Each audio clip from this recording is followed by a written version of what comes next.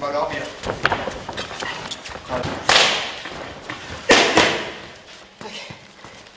قبل از اونی که کار می‌کنه من صدف خادم هستم اه، 24 سالمه توی شهر تهران ایران زندگی می‌کنم.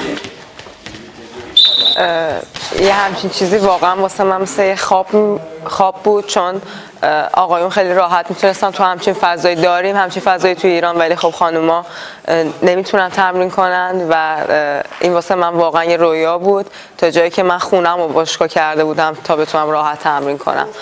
دقیق؟ بهش بلوک این این چند بار انجام بده بهش بلوک اون یکی. اول آقا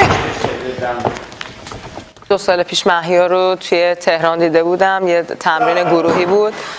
خیلی اتفاقی امسال چون من اتفاقایی افتاده بود که از بوکس دور بودم ولی دوباره که برگشتم خیلی اتفاقیشون رو پیدا کردم و به من با اینکه منو اصلا نمیشناختن بهم اعتماد کرد و تونست برام یه بازی بگیره و بقیه کار هر چیزی بخوام بگم همش مربوط به مهیار. یعنی اگه مهیار نبود هیچ کدوم هیچ کدوم. من ده سالم میدویدم این اتفاقا نمیافتاد. تو حریفت می‌دونی که مش می‌زنه؟ نه. چون من منتظر این بودم و بهش گفتم که حتی هر چیزی از من خودم هر کاری بخواد می‌کنم فقط من بتونم بیام مبارزه کنم.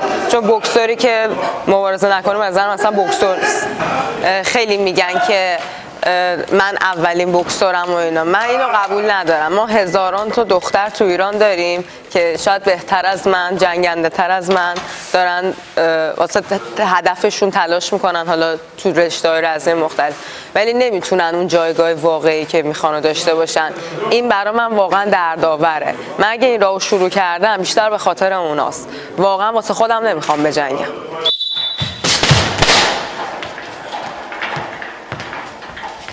واسه کسی که کار بدی کرده. من کار بدی نکردم.